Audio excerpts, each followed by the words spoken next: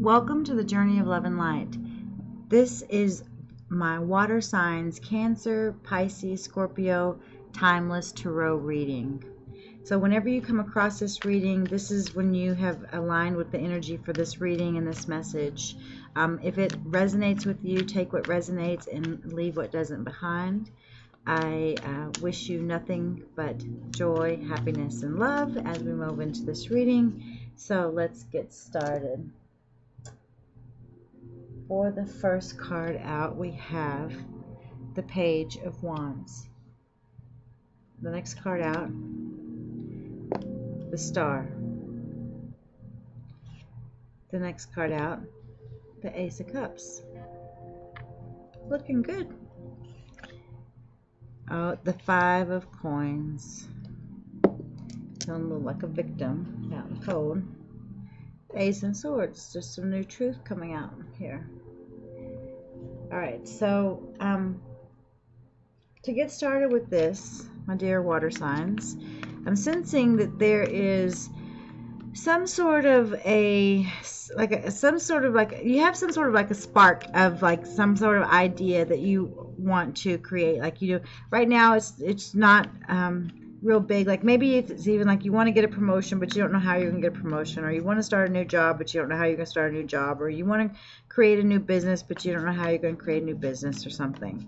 But um, the divine is saying that just that spark alone can really turn into a blaze if you focus on it and you nurture it and you give it the attention that you need that your hopes and your wishes can come true and there's going to be the potential for um, you know this new um, emotional, you know, fulfillment, this new, fresh, new start. But it's going to require that you don't worry so much about your financial situation that there's going to be some new opportunity that comes along for you just almost like out of the blue like wow here it is.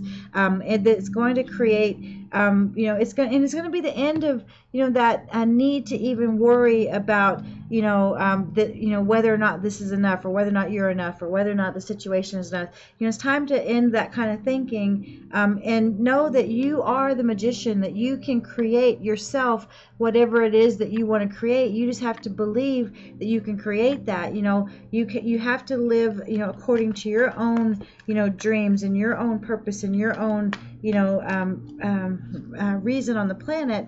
And when you do that you know you're going to feel like the king of pentacles. Like you're going to not only be you know completely you know emotionally fulfilled in the situation but you're going to have a, you know a, you know the financial wealth that you need um, that doesn't you know allow you know cause you allow you to feel like you know you're left out in the cold and that you don't have enough. Um, but it, you know, it's going to maybe take some time, you know, for all this to come into play. And so while that's happening, you know, spirits just, you know, um, asking that, you know, you know that you are and you can create, you know, whatever it is that you want to create in your life. You know, you are a co-creator uh, with the universe. So, um, you know, and I think that, um, you know, you can, you know, know that it's time to put down, you know, whatever burdens you've been carrying and, um, you know, you can know that, you know, things are going to ultimately work out in your favor. Um, and, um, you know, those uh, sleepless nights will be over. So I hope that that was um, useful to you, my dear water signs. Uh, looks like things are going to, you know, be turning um, in the right direction for you as, you know, whatever time that you've come across this reading. So I wish you nothing but the best on your journey of love and light. Um, if this was useful, don't forget to smash that like button on your way out.